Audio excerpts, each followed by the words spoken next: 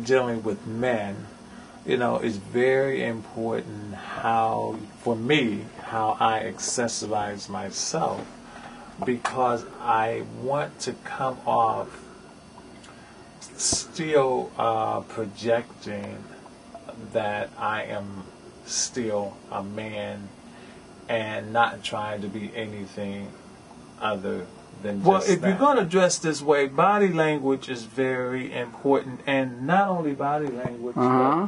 but you being secure with yourself. Have you ever been attacked physically by No. somebody say, "Hey, No. yo, faggot," and No, somebody coming no, on I- you or something? No one has ever called me that. Really? No, no one, no one has ever called me that. Now, I'm not saying that they haven't thought about it, but I don't carry myself in that manner. Right.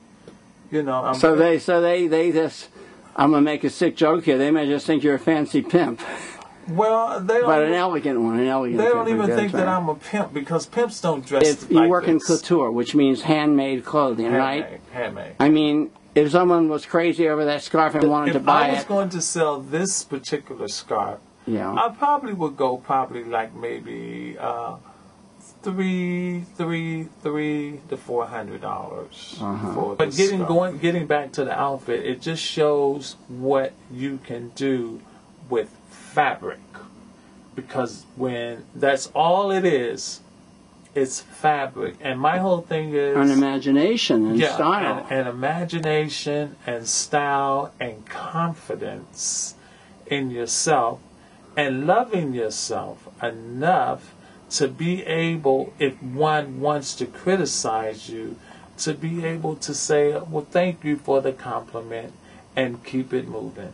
But now you told me that you go down the street and like coming over here today on transit workers or construction workers or somebody just, you know, started complimenting you. Hey, Yeah, I mean, what- I, what did they I, say? I, I went for instructions, and they so busy looking at the outfit, you know, they they, they was they were so sweet about it. Uh, be- before I could leave, they would tell me, but you have to admit that when you first walk up, because you, you create an impression, and frankly, the look is fabulous, but it also, in another way, is sort of startling. So there's that moment where they say to themselves, is this a Looney Tune or is this somebody? Because you look like you could be either one until you open your mouth and we see you are somebody. Well, it's the the thing of it is, Randy, is that it's not every day that you see this look. I don't know. That's why I It's not invited every you day. over. It's not every Right. day that you see this look. So Right. when people do see it, Right?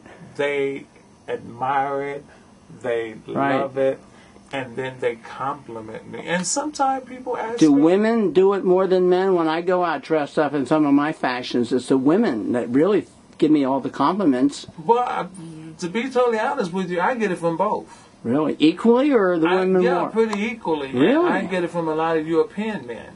Oh. I get it from a lot of European men, but American men as well. They always give me a compliment. I saw a guy in some fabulous color, colored suit. It was orange or something. I said, Where did you get that fabulous suit? He said, I bought it in Italy. Over in Italy, they have some color in men's fashions. I Oh, said, yeah. Man, that is a beautiful suit. I Oh, wish yeah. I could get one here. Yeah, well, well, Italy and places like Right. that, they're a little bit more uh, fashion conscious. And a little freer in their color. You know, like men are freer to be more free glamorous. and they're, and they're comfortable. But Right. My thing is, I feel that it is so important that men learn how to come out of that box. Oh. And what has happened is that we have to understand our parents had a lot to do with that, especially our fathers. Because our fathers wanted us to go out and play basketball, wanted us to go out and, and, and years. I remember my father telling me, he told me, he says, Phil, you're going to be a little sissy when you grow up. And at the time, I didn't even know what sissy meant. But he wanted me to climb trees, mm-hmm. and I wanted to do interior decorating. I wanted the hmm. house to be nice and clean. I wanted Right. to wash the dishes.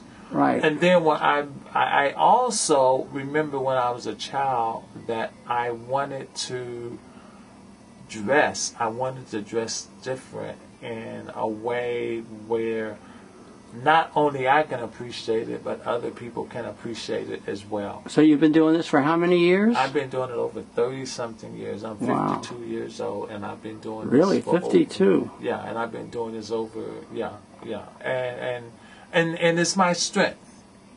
It's my, I call it my strength. It's my Mm-hmm. strength. It's kind of like uh, the mask, the movie The Mask. Uh huh. You know, when you put the mask on, he becomes Uh-huh. this, this, I- this I mean, as I was walking here, so many people just looked at me, just looked at me. And some people want to compliment you, but they don't know how.